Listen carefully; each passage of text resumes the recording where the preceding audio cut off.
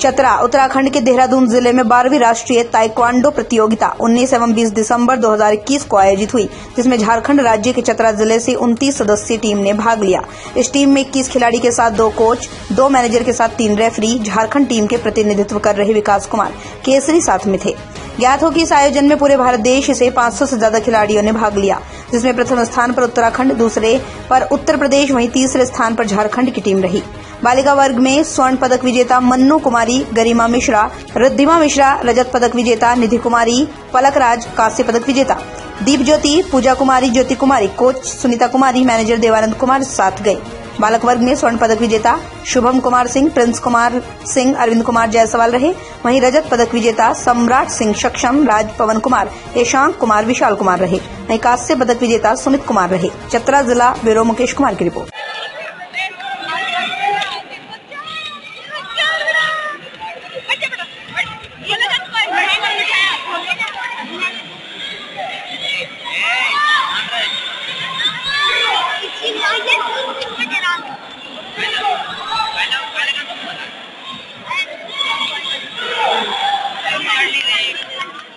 रास्ता सामने से भैया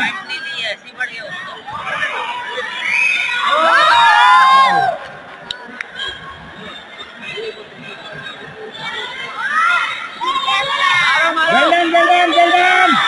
Well done.